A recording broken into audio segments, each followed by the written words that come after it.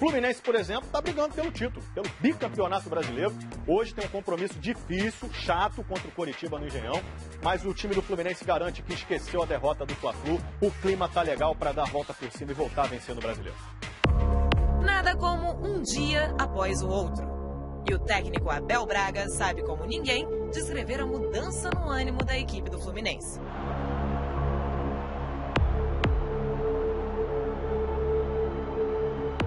Na segunda, Era um clima de muita tristeza, de velório. na terça, No hospital, talvez visitando algum parente enfermo. mas na véspera do jogo contra o Curitiba no Engenhão, teve uma invasão e tudo mudou. Esses aí fizeram o Abel se sentir curado. Parece que eles sentiram que poderia haver qualquer tipo de enfermidade pelo resultado passado e vieram aqui dar esse apoio. Então podem levantar as mãos e aplaudir. O torcedor merece.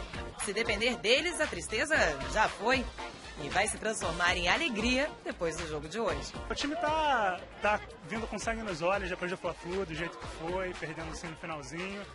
É, a torcida tá abraçando e a gente vai pra cima pra ganhar. Contra o Coritiba, o tricolor entra em campo sem Diguinho, Leandro Eusébio e Souza, mas conta com um elenco de ídolos.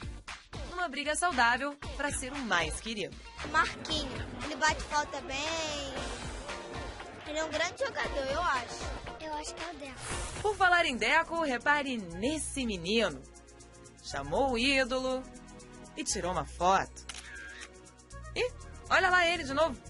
Fez a mesma coisa, só que com Sobs.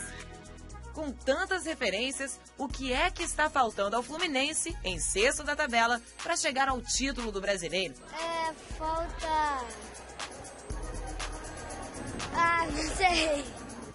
Pedro pode não saber o que falta, mas o que tem que fazer para vencer Gol.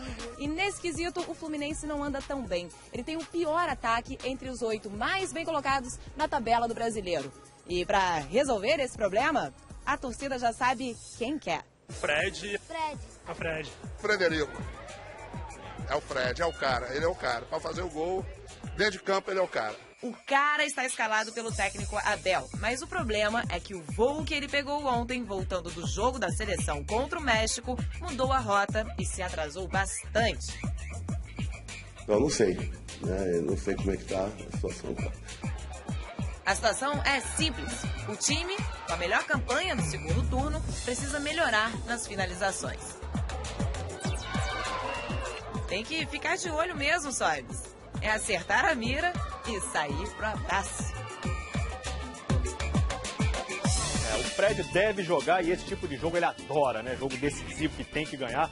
Faço maior fé que ele vai arrebentar hoje contra o Coritiba.